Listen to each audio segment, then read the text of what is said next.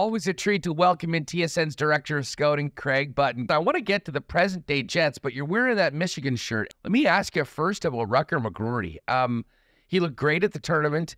He has been, I believe, he was the Player of the Month uh, for uh, for last month. He's absolutely killing it at Michigan right now. Craig, what um, if Rutger McGroarty signed with the Winnipeg Jets at the end of the season and came in? Do you think he could be an impact player for the Winnipeg Jets at uh, at, at some point potentially in the postseason? Uh, I, I, think it's always hard for a young player to come in and be an impact player. Do I think you could come in and and and add some some attributes and elements, I, I, do think he could do that. You know, the, Winnipeg Jets have, in my view, have lots of impact players, and I think for a young player like McGroarty to come in, I think that he could more than hold his own, and he's got an infectious enthusiasm about him and, and, a, and a big time competitive spirit. So if you if you ask uh, Rutger McGroarty to go in and be the third goaltender in the morning skate, uh, and, and and just stop shots. He would go in there and give it everything he's got, and and that's the, that that's the type of person he is. You know, over time, and I, am very you know, I'm very open about this. I have a man crush on Rutger. Like I love him as a person. I love him as a as a hockey player. You and the and, whole city of Winnipeg. Is, yeah, yeah. Well, well, I'm happy to be on that. I'm happy to be on the McGroarty train. I really am because he, he's a special person and and he's a really really strong hockey player and you know if you if you take all the individual things and you, you know he might not be in a skills competition in the all-star game but when you're playing and you're trying to win you want Rutger McGroarty on your side. I'm going to tell you who he reminds me of in terms of the, the impact that, that i think he'll eventually have. And if and, and i worked for him and, and he's a hall of famer and i think Rutger will probably have a little bit more offense to him but Bob Gainey is the player that I see Rutger being like to a team. The, the, the, ability to change the course of a game, to will the game in your team's favor, to do things that are so impactful that don't show up always in the in the stats column, but they show up in the win column. And I think that that's the type of approach. You know, having watched Rutger for so long now, and it, it feels like I've been watching him forever, but the continued development, I'm really comfortable saying that I think he could be like a Bob Gainey impact on, on, on a team. And I'll say it right now. I think he's an untouchable player. I know everybody talks about you got to give up something to to get something, but unless you're getting a, a, player that can have that type of impact in in in in, in right now, there's no way he I would trade Rutger McGroarty. He is the untouchable player in my view. Well, and you just mentioned all those attributes that he brings. I mean, uh, and the energy that he brings. Um, I mean, I'd want that even if it wasn't on the ice around my team in the playoffs. And uh, just quickly on Rutger, I mean, it's now you know the second season since he's been drafted. I remember speaking with you and your excitement about Rutger and the pick when the Jets made it two years ago. How far has he come from when he was 18, hearing his name called, to right now being on the cusp of turning pro at the end of the season? Well, I, I, think he's progressed significantly, and and you know, using your term, he's come so far, and, and that's what you want to see from a young player. You you draft a player at 18, you're projecting of what you think he can become, and certainly uh, the Jets, you know, loved Rutger McGroarty. They saw lots of potential in him, and and, and I'm going to bet that probably the the Winnipeg Jets might be really impressed with how much his development ha- has gone on. And you know, I'll use an example you know, when mm-hmm. we drafted Jarome Iginla back in 1995 with the Dallas Stars, we knew Jarome was going to be, when I say we knew, our belief was that Jarome would be a really good, strong NHL player 30 goals, power forward, maybe 35 goals. Well, he far exceeded that. so, you know, I can say that we were wrong in our projection about Jarome because he was a superstar. And we didn't project him as a superstar. We projected him as a really good, strong player on a team. And he became far more than that. And I think that that's for Rutger. I'm not I'm not comparing him to Jarome Iginla. I'm comparing it to the progression from the time he got drafted and I don't think there's any doubt that, in my mind that when he comes into the NHL, his impact will be significant on a team, and it, will be infectious, as you point out about the the, the enthusiasm. You know, you know the saying, "No bad days." I, I, I don't think that Rutger has any bad days. I just I, have never seen him. I've been around him so much. I, have never seen that. Even when he was having his injury, uh, recovery leading into the World Junior. I mean, he was just zeroed right in on what he was going to do. The first game at the World Junior, he had I don't know what he got. He must have had about a half dozen chances, and he was just off a little bit, a little bit of the timing. And even after that game, he was like, "No, I'm okay. I'll, like it feels good to be back. I'm gonna I'm gonna score. I'm gonna do the things I need to do." And and of course, he did. Well, we'll be following him throughout the rest of the season in Michigan, and then uh, and a lot of people uh, crossing their fingers that we might see him in Winnipeg at some point later on this season. Um, someone that just well hasn't actually played a game yet here in Winnipeg, but made his Jets debut was Sean Monahan on Pittsburgh. Craig, uh, what did you think about the acquisition of Monahan and uh, what he brings to the Winnipeg Jets? I think it's a terrific acquisition for the Winnipeg Jets. I mean, they find themselves in a spot at this point in the season as, as one of the best teams in the, in the National Hockey League. And certainly when you look at the way they've played, you know, defensively, how deep they are, Sean just makes them deeper and stronger. And he's had a had an excellent season in Montreal. And when you when you consider how healthy Sean Monahan is, you now see a player that can be productive. Sean Monahan isn't the same player today that he was in Calgary, you know, earlier on in his career. But when you're bookended by Mark Scheifele and Adam Lowry, I think it's a perfect spot for Sean Monahan. But he doesn't all he doesn't just have to be a bookend between those players. You can move Sean Monahan around your lineup. And for Rick Bowness to be able to have that flexibility with a player that, you know, on the ice, you, you know, you're never worried because he's a great face-off player. You know, he's very conscientious defensively. He's good on the power play. He can play the wing. He can play with different players. And I think that adding all those attributes in Sean Monahan's game to an already really good, strong, functioning team is nothing but positive. Nothing but positive for uh, the Winnipeg Jets. And so, you know, people, oh, it's a first round draft pick. Well, I, I don't know if I've ever said this. I consider 21 to 50 all first round draft picks. Like you know, like I can name I can name 20 guys right now that I know are going to be first round draft picks. After that, I'm not as certain. I, you know, I can take it, but I really believe, and that's why teams, and you hear it all the time.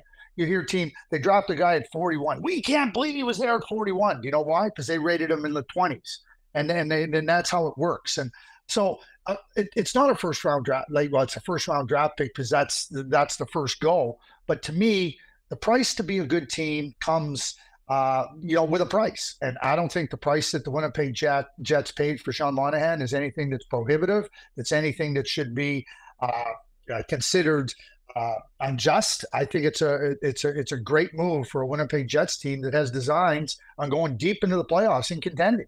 Craig, uh, uh, speaking of the upcoming deadline, there's been a lot of talk now that Monahan is a Winnipeg Jets about Kevin Cheveldayoff potentially moving his focus to uh, an improvement on the blue line, and the name Chris Tanev's come up quite a bit. Uh, what do you think about a fit of Tanev with the Flames? And and from what you're hearing, what's it going to take to get Chris Tanev out of Calgary, considering the interest in him around the league? Well, you know, the Toronto media, who are really just Maple Leafs cheerleaders, you know, they're starting to try to, they're just trying, they're, they're starting to run the narrative that Chris Tanev isn't worth a second round draft pick, or he's only worth, you're not going to get more than a second round. Oh, okay. Okay. So, yeah, right. Okay. Listen, you, are going for it, right? I mean, Ben Chiarot went for a first round draft pick. Uh, David Savard went for a first round draft pick. Don't start telling me that Chris Tanev isn't worth a second round draft, isn't worth a first round draft pick because he's a really, really good player. You, you know, I, I talked about Rutger. Chris Tanev is is that player that comes into your lineup and he is fully committed to doing whatever it takes to help your team win. Fully committed. He he can play lots of minutes. He can play rugged minutes. He can play the heavy minutes. He can play against the other teams. And and and when I look at, at the Winnipeg Jets, and I, I and I think that me looking at their team and, and where they're at, I think uh, like an addition, some strength on the blue line that can ease some of the some of the burden. Number one on Josh Morrissey. Number two off of DeMelo and Pionk, who, who, aren't bigger defensemen. You know, they they carry themselves. They got some weight. They're competitive. I think that that would really help that blue line. And you you now have a really good, strong penalty killer. You have somebody that can match up hard against the other team's best players. And Chris Tanev doesn't give an inch to anybody. He, he, he's territorial. He's competitive and combative. And to me, that type of a player, when you're going into the playoffs and you want to strengthen that area of your team, and, and then that's your top two pairs of defense, I think Chris Tanev would be a terrific fit with the Winnipeg Jets. And certainly, and, and like, yeah, we'll, we'll wait and see what happens. And understanding that, you know, everybody's got, but there's no way that anybody's going to tell me he's not worth a first round draft pick. When I see Ben Chiarot and I see David Savard, to just name a couple of guys that, that got traded for first round draft picks, go for that price. There's just no way. And again, you, you want to be serious about winning. Don't tell me what the cost is. Tell me are you're prepared to pay it. And, and uh, that's a simple yes or no. Because the price, when your team is really good and your team has a chance to really push itself forward, the price of not doing something is far greater than the price to, that you might have to pay to get that player or players. Craig Button with us here on Winnipeg Sports Talk. Um, Craig, last week, and you knew it was going to happen at some point. The Jets were going to have to expose, in all likelihood, one of their young defensemen, Declan Chisholm, got plucked off the waiver wire for Minnesota, and now Brenden Dillon is suspended. Now, for tonight's game number one, um, Logan Stanley's been with the team. He's going to be in the lineup. Um, many people, myself included, think in the near future we're probably going to see Ville Heinola at some point. Um, assuming there's no additions to the blue line, or until that happens, what do you think the best course for the Jets is to get Ville in and get him into the lineup, considering how well he played in camp, the fact that he probably won a spot in the opening lineup and then missed half a season with that ankle injury and is now playing with the Manitoba Moose. How, do they bring him in and what makes the most sense considering how well the six ahead of Logan Stanley in the depth chart have played so far this year, looking at the goals against numbers? Well, I mean, one of the best defensive teams in the league. I mean, there's no question about it. And certainly, you know, Declan Chisholm, he played two games for the Winnipeg Jets. They couldn't get him in the lineup because the players were just saying, like, you can't take us out. We're playing too well. And and I, I think that's a real credit to to the six blue liners that have really carried the load. And and you know, Nate Schmidt, it was with a healthy scratch a couple of times, and Logan Stanley, you know, had his spots out of the lineup, some of it because of injury, some of it because he just couldn't get in the lineup.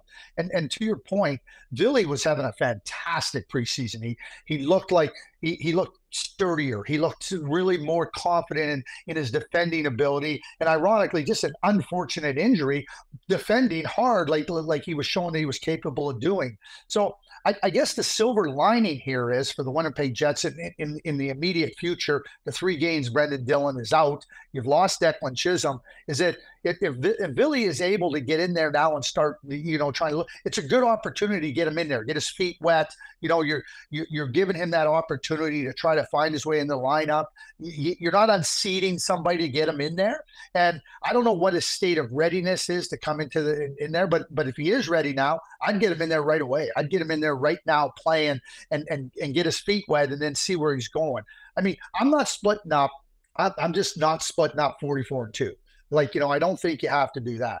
You know, now with Brenden Dillon out of the lineup, it's going to be interesting. You know, what do you do with with, with Neal Pionk? Do you want Heinola and Pionk to play together? You know, certainly Samberg has been a, a really good, strong player for the Winnipeg Jets this year you know, I, I, might be inclined to play Pionk and Stanley together and then have Heinola play with Samberg because, Dillon's been so steady in his play this year. If if if Ville's able to come back in there and play and and, and, and his readiness dictates he's ready to play. Yeah, it's going to be interesting to fall. I mean, I, I think for many of us, we don't need to get down the inconsistency of NHL player safety, but um, I think we thought it might be one game or two game. Well, now that it's three games – it does give them that chance. And the team's going to be coming home from Philly after this game. I think a lot of people would love to see Ville get a chance potentially Saturday against the Pittsburgh Penguins. And I guess from his perspective, Craig, knowing how important his next time in the lineup is, uh, it's a matter of going in, showing everything that he did in training camp, and giving Rick Bowness uh, a very, very difficult decision to take him out of the lineup when opportunity presents itself coaches will tell you, you know, at, at, these points in time, you know, that this is a good problem to have to have too many good defensemen, right? Doesn't make the decisions any easier, but those are decisions you want to you want to be able to have, and certainly, you know, the, the if, if Ville can find that form coming back from from that ankle injury, uh, it, will only help uh, the Winnipeg Jets going forward. You know, I'm, I'm, I'm going to dive in here. I'm going to dive in here on uh, on the suspension to Brenden Dillon November 30th in a game versus the Edmonton Oilers. Mattias Janmark absolutely hammered Josh Morrissey in the head on an interference call that I said on the broadcast should have been a two game suspension. They didn't even give him a suspension. They didn't even give him a fine. And now when I see the Brenden Dillon play, that's the inconsistencies that people look at from the Department of Player Safety and go, what? I was like I, I know that not every play is the same, but how could Mattias Janmark not get suspended for that? And then Brenden Dillon gets three games. And I'm not saying that Brenden Dillon didn't deserve to be suspended, but to me, it's the inconsistencies that get themselves the criticism that that comes their way. The Dillon play was was really strange in that I mean, when you look at it back, I mean, Acciari at one point kind of reminds me of one of those speed skaters, you know, where they put both of their hands behind oh. their their head and just like lean right in head first. I mean, it certainly didn't look like Dillon was intending to do it or head hunting. Um, and, and you don't see, or you certainly didn't see that five, six, seven years ago in the league of guys leading with their head like that uh, when they're entering into the zone. Like, I'm not really too sure how much he could have done. Uh, listen, when you see the guy's helmet fly off and he gets hurt, obviously there's going to be a call from NHL player safety. But I'll admit, Craig, I was, I was stunned considering what we've seen for other things, certainly involving the Winnipeg Jets, and get us going on that with Hartman and all that. That Brenden Dillon all of a sudden is the guy that's getting a three gamer when you look at what they've done so far in other, maybe not totally similar situations, but with what three games has been given for this year. I totally agree, and that's why I said, like, I I was right in the building for, for that Edmonton game on November 30th, and Mattias, yeah, I mean, it was complete interference. It was complete head contact. I mean, Josh Morrissey had to leave because of concussion protocol. The spotters took him onto the game, and it was a really tight, competitive game, as as we know. But to me, that like, and and and again, like, I, I don't think players, you know, for the most part, are going out and trying to intend to like. In fact, I you know intend things happen in the course of a game, and you got to be in control. And Mattias Janmark was completely not in control. And and I agree with you on on the Brenden Dillon thing. It's like okay, you know what what's the responsibility? I'm not I'm not here to blame any victim whatsoever. You know, you look at it, what could have Brenden Dillon be doing differently? But the inconsistency in the application of the, the the the number of games suspended just just puzzles me. It puzzles me. I don't know what else to say. Craig, uh, going into the break, uh, the Jets, some of the goals really dried up. And I think it's not a coincidence that Mark Scheifele was out of the lineup. Coming back from the break, Scheifele's in, and I thought looked really good. Monahan had some nice shifts with Ehlers and Perfetti, uh, but they got shut out by the Penguins. And there is, I would say, there's a little bit of nervousness considering what's happened in the second half of seasons before. Can you uh, can you calm the nerves of Jet fans? I mean, uh, should they be worried right now? I mean, uh, where do you think this team is at? And and looking ahead to this next game tonight, game Saturday, in these next few weeks, what do the Winnipeg Jets need to do to uh, get back to their winning ways? I'll try my best to, uh, you know, try to alleviate the fears of Jets fans because I, I, I, see this team as very different. And even before the break, I, I, I thought that they were, you know, they lose they lose one nothing in overtime in Toronto. I thought that Winnipeg was the better team, and certainly Samsonov played excellent on the on the return game. I thought Winnipeg played really well. Samsonov again was was a real significant difference maker, and and certainly when when you score one goal in two games, you know that you, you're it's hard to win games. So so you got to find a way to score. Defensively, this is one of the best teams in the league, and I, and they're still not giving up very much. It, it would be one thing if you're floundering in, in an area of your strength and that's falling off. And certainly, you know, the record, what what they did, two goals or less for that stretch, three goals or less for over 30 games. I mean, it was it was beyond impressive, and that's not going to carry through. You know, like like it, it's hard to carry that through for 20 games, let alone 30 plus what I see now is, is, is a team that, that, that is still committed, and, and this is what I like about the Jets. They're still committed, and, and we hear this all the time. We're going to play to our identity. They're going to play to the things that give them strength. And, and that's what I continue to see for the Winnipeg Jets. Even against Pittsburgh on Tuesday night, I thought that they were they were committed, they were playing. Yes, they had some good chances. They weren't able to bury it. And Tristan Jarry deserves some credit for that too. I mean, the goaltender gets in the way. But you know, you, you, you try to find a way. Last year when they were struggling and they went into their struggles, they weren't getting chances. Like the, the offense dried up because they weren't getting chances. The defense was vulnerable because they were creating their vulnerabilities. I don't see that in this little stretch here. So until I start to see signs of that, And I don't think I'm going to because I think that this team is very different. Mark Scheifele coming back after the injury and after the break. It's going to be a hard game in Philadelphia on Thursday night. But Philadelphia is a hard team. But I think the Winnipeg Jets are a hard team. And I think that all the things that they've done so well to find themselves in the position they are in the National Hockey League and in the Western Conference are things that are going to serve them well. So I, don't see any reason. I know when you start to have some uh, uh, losses and they and they start to stretch a little bit more, you start to oh boy, is this is this a sign? I don't see signs of of a team that's going to dip. Yes, they got to find a way to score, and, and and that has to be the objective right now. But they're getting their chances, and they haven't moved away from the identity and the strengths of what got them to this point.